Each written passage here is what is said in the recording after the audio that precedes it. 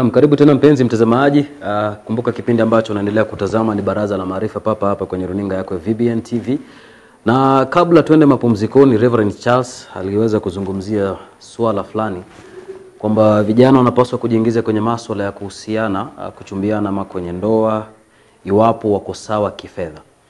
Na nikijaribu kukumbuka kwa kipindi fulani ambacho huwa kinakujia kila siku ya saa tano Street Vibes kuna jamaa fulani aliweza kuhojiwa na akasema yeye hajiingizi kwenye maswala ya ndoa kwa ajili mfuko hauko sawa, na akaweza kusema kwamba vijana wengi sana wameogopa maswala ya ndoa na kuchumbiana kwa sababu wasichana wana mahitaji mengi sana ambayo vijana imeendelea kuwa kizungumkuti, na ningependa nirejelee kwako tu, iwapo vijana hawa, hawajapata fedha na muda labda wa kuoa unaendelea kusonga afanye vipi? Kwa sababu wazazi pia mnafika mahali mnakuwa na ile pressure, bwana, umefika miaka ya kuoa uoe, lakini kijana anaona labda mfuko hauko sawa. Shida ile nataka uelewe ni hii, hata ukirudi kwa maandiko, Adam kabla apewe mke, tunajua Mungu alikuwa tayari amempea kazi, so this guy had a job. Kabla aambiwe huyu ni mke, alikuwa na shamba, hiyo ndio ilikuwa kazi yake. Kuchukua mke ni kuchukua majukumu.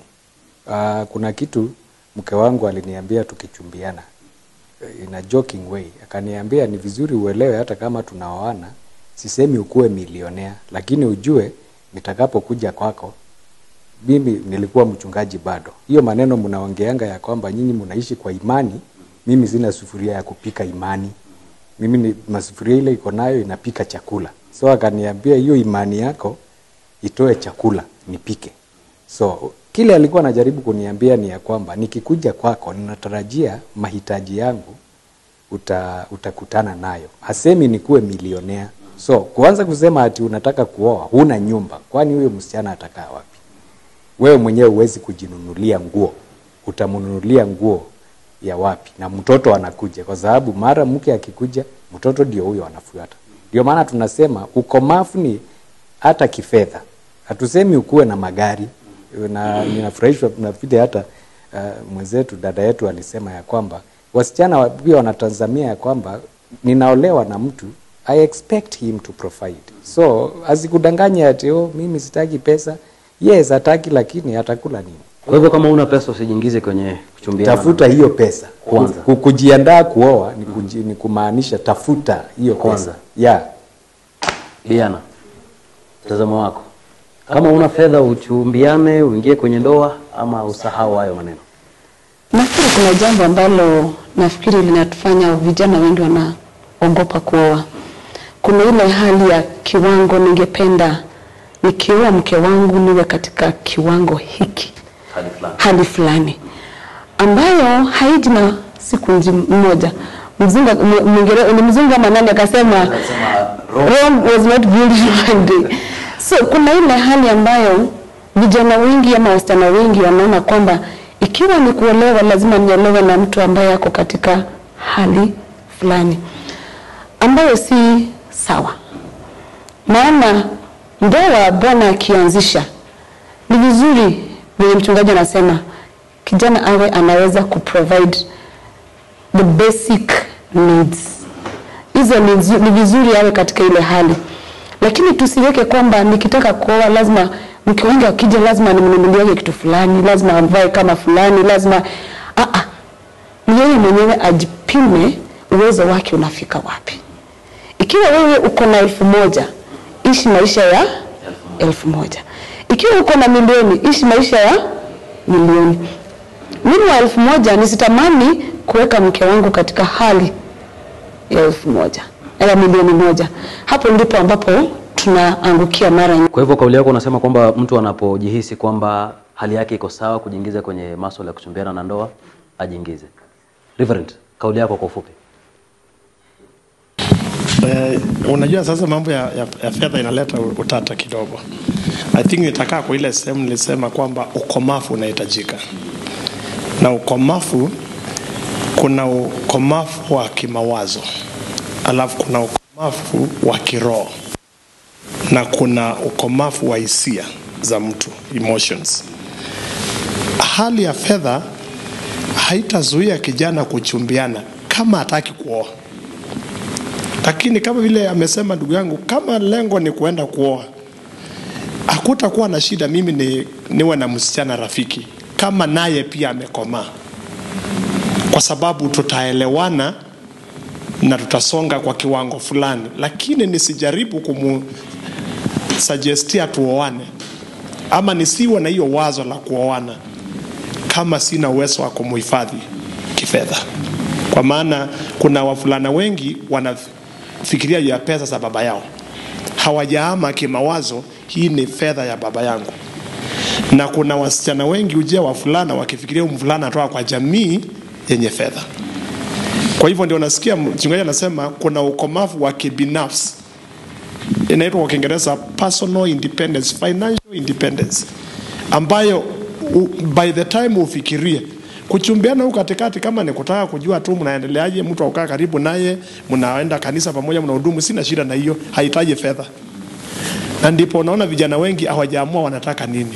So fedha ni pila muhimu sana, lakini si, si fedha inapaswa wasichana wakumbale wafulana juu wana fedha. Kuna considerations mingi ya kufuatilia. Uh, nyinyi kama wazazi mnakaa na hawa vijana na wakati mwingi sana kuna vile ambavyo katika lugha ya kimombo tunasema wana behave mienendo yao. Ukiangalia jinsi anavyoonekana leo, labda kimawazo anata, anataabika kimawazo, labda uh, kwa ajili ya haya mahusiano tu, na ndiposa unaona kuna visa vingi sana vya watu kuuana, vijana wanakunywa sumu, wasichana pia, kwa ajili jamaa fulani amemkataa, anaamua kuji, kujitia kitanzi. Kama mzazi Biana, kijana anapojipata katika hali ya stress anapaswa kufanya nini? Ili kuepukana na uh, msukumo wa kufikia kiwango cha kuchukua shoka kumuua mwenzake? wakifika katika hali hiyo ni vizuri wa open up, wawe na mtu ambaye ako karibu, anaweza mweleza yale ambayo anayoyapitia, kwa sababu si jambo geni, ni jambo ambalo limekuwa likifanyika, wengine wetu tumepitia, lakini kwa sababu ya ile hali ya kuwa na mtu ambaye unaweza ongea na yeye inasaidia, na zaidi ikiwa mwenendo wake na Mungu uko sawa, huyo mtu ataweza kuadjust to God more than adepend kwa kwa yale mawazo yake na njia zake, kwa sababu akiwa na yule Roho Mtakatifu atamwezesha. Umezungumzia kuhusu uh, kufunguka kimawazo na labda ku, kuelezea jirani ama mzazi ama mtu aliye karibu nawe, lakini labda kidogo niulize swali. Nilipokuwa najiingiza katika haya mahusiano sikukueleza, iweje napokumbana sasa na shida ndo najua kwamba upo? Mbona sikukueleza ule wakati ambao nilikuwa najiingiza? Pengine hukunieleza kwa sababu nilikuwa najua itaelekea mahali ambapo umeelekea, na hungetaka nikueleze. Hasha, usielekee mahali ambapo umeelekea. Mara nyingi huwa tunakataa kusema kwa sababu katika mawazo yetu pale mwisho tunajua um, siko katika hali nzuri, ama jambo hili halikubaliki katika society. Ninaingia kwa sababu ni mimi mwenyewe ninata na ninajua kwamba nikikuja nieleze mchungaji wangu ninajihusisha na rafiki fulani katika hali fulani, atanikataza. Na kwa sababu hiyo, vijana wengi huwa wana opt kunyamaza, kujiweka katika ile hali ule urafiki. Wakati ambapo inaharibika, anashindwa tena wapi, kwa sababu hakuwa na mtu ambaye alitembea na yeye tangu mwanzo Kwa hivyo solution ni ku, kuzungumza. kwanza uzungumze, kwa sababu ukikufa na yale mawazo itakumaliza, na ndio sababu unaona wengine wanaelekeza ile anga yao Kwa shoka. kwa shoka. Anaona nikimaliza huyu ni muue, Hasira yangu itakuwa imekwisha. si hasira peke yake, hata shida itakuwa imepotea. Reverend Charles, kabla sijarejea kwa Reverend Justus. Shida ile tuko nayo, malezi yetu uh, ya kijamii, the society at large uh, ime, imeoza kiasi, kwa sababu ukianzia vile watoto wetu, hii generation sasa inakatakata watu na mashoka, wamelelewa na, na wazazi wale sasa they were a bit tunasema free. Sisi wengi wetu wazazi walikuwa wamekazia, lakini sasa tuko na kizazi kuna tuseme the boy child. Hajawahi nyimwa chochote. Akiitisha pizza anapewa, akiitisha simu ya baba yake anapewa, akiitisha hiki anapewa. Sasa amefika college, mawazo ni yale yale, alafu amezoea game. For you know this press one ana press. For this press two, anakutana na msichana. Sasa, anajaribu ile mbinu.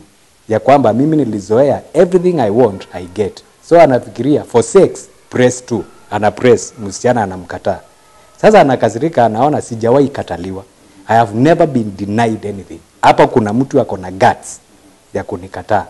Kile tumekuwa tukiambia saa hata wazazi, sometimes ni vizuri deliberately, hata mtoto wako unamwambia hii haupati leo, unamwandaa kwa ile tunaita break up, kwa sababu si atakataliwa tu one, one, one day. So ni vizuri unaanza kumjulisha, sio kila kitu utapewa vile unataka, na sio kila kitu itakuja, sio everything you want. Ukitaka maji unapewa, sometimes unamwambia ngojea, utakunywa baadaye. Unafanya makusudi tu. Reverend Justus, kama mchungaji, sijakueleza kwamba ana uhusiano na msichana fulani ama hajakueleza kwamba ana uhusiano na jamaa fulani.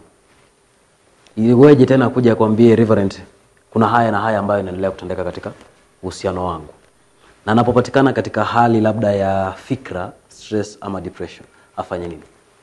Kwa both, kwa, kwa both cases hakuna ruhusa uniambie. Shida si kuniambia. Shida ni culture yenye tumedevelop. Kwa sababu kwa jamii mingi hakuja kuwa na environment ya mazungumzo. So hata siku hilo nataka kuanza dating hakujawahi kuwa mazungumzo ya nafasi ya mazungumzo. So a culture has already been established where you do things. So itakuwaje niende kuambia dad na tayari hatuongeangi mambo mengine si unaona? Kitu nakasana kama baba sasa niko na teenagers wawili kwa nyumba form 3 form 2 na mmoja ni mfulana mwingine msichana. Ninaona hata jana alikuwa na kikao just cha kusikiliza. Kitu nimeona kabisa mchungaji ana, ana, ana, ana allude to ni kwamba kuna kitu imefanyika nyumbani. Hali ya commitment za wazazi imewaondoa nyumbani technology imechukua kila mtu nakuta watu kwa nyumba kila mtu kwa simu ama kwa television. So what has become of us ni kwamba hatuna nafasi ya ku create an environment. Nilikuja studio last week. We became free. At some point you could ask me questions with a lot of i was watching unakuwa more freer. I was also sikujua wewe ni nani but as we were interacting i became more close, i could say things. Kama mimi na mama yangu hatujakuwa free ama mimi na baba yangu hatujakuwa free. Hakuna njia nitakwambia ninachumbia mtu. Nitakwambiaje? Sinajua vile uta, uta react nikikuletea results ninajuanga vile una react nikichelewa nikitoka kanisa i know your reaction. So how can i tell you even something that i know even worse? Lakini sasa ile nakuja kukuambia ndio naona wasichana wengi wana prefer kujiua sababu nasikia mimi kama kansala wa university huwa nasikianga maneno hayo mtu anakueleza kitu anakuambia hii usijaribu ongelesha baba yangu. Iwe between me na wewe because nitauawa. That is the point. So the problem we are having is hakuna mtu anaunda environment ya kuzungumza. Na wale wanaitwa counselors kwa mashule na mauniversities pia wamekuwa reprimanders. Nyumbani siongeleshi kansala naye anani reprimand naenda kwa mchungaji naye ananiambia ni demon ina fulani. What do you do? Si utachukua shoka Haya, mumeweza kuzungumzia teknolojia. Nafikiri tutakapotoka mapumzikoni tutakuwa tunazungumzia kuhusu teknolojia. Nakumbuka wakati fulani nilikuwa naye mwalimu Michael Ndoi, alitilia mkazo sana, teknolojia imeleta mambo mazuri. Tukirejea tutakuwa tunaendelea kujua ni kweli au si kweli. Mtazamaji, tunakwenda mapumzikoni, ili tutakaporudi tutakuwa tunaelekea tamati ya kipindi hiki, kwa hivyo usikae mbali.